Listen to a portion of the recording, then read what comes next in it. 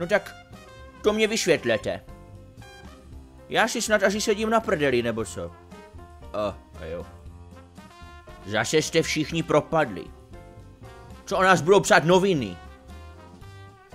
Blumbár je starý dědek, neumí nikoho nic naučit. To se fakt nemůžete aspoň trochu učit. Vždyť na češtině, kromě gramatiky, literatury a slohu, není nic těžkého.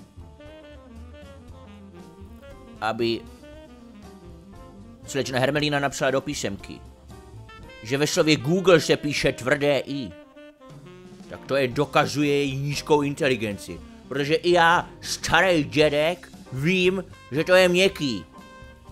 A tím myslím to i, ne nic jiného. Takže já, moji milí soudruzi, toho mám už úplně plný zuby. A nemyslete si, profesor Staller, teda Hitlin, je taky pěkně vytočený, že tady musí trávit čas navíc. Jsem mu to viděl na očích. Teda na voku. Jak se zbalte a táhněte už, tady ta škola je fakt na píč. Reparát. Slovo původem ze španělštiny. Por měkké Y. Pojď Tak mi bylo řečeno, že jste pěkně nepoužitelní v českém jazyce. Co jste měli za učitele? Aha, mě.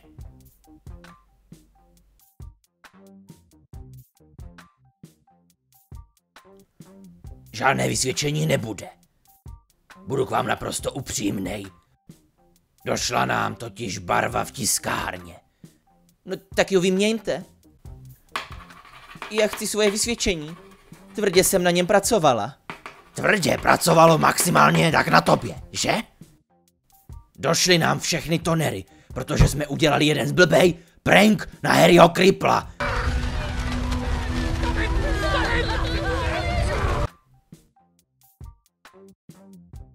Obovaž se ty šušně lepit na lavici, ty prase jedno kuřecí.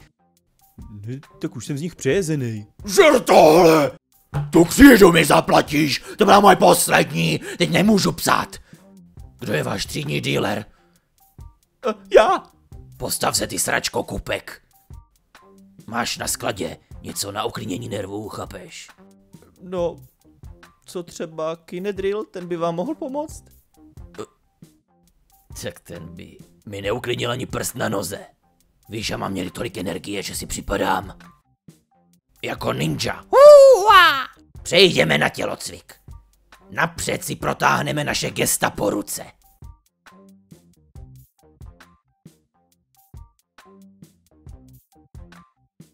Co ti tak trvá, chlapče?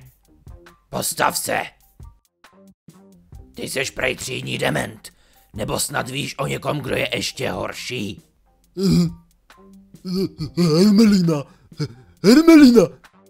O, to je pravda, to je pravda.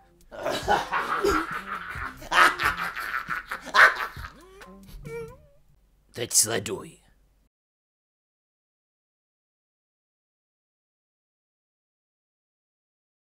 Tak ty prej máš rád okenu. Mhm. Mňam.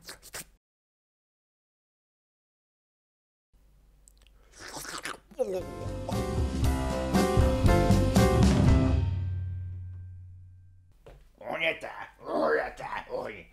Synku, přišel jsem tě akorát zopakovat, že jsi totální dement, víš to? Dobrý, tak já zazdu. Dámy a pánové, pokud se vám video líbilo, tak mě moc potěší, když dáte like, odběr a zvoneček a také když navštívíte můj druhý kanál Maze, kde jsem právě začal točit nový styl parodií na hry a momentálně natáčím Harryho Pottera a Prince dvojí krve, takže na to koukněte, já jsem Mace a nazdar!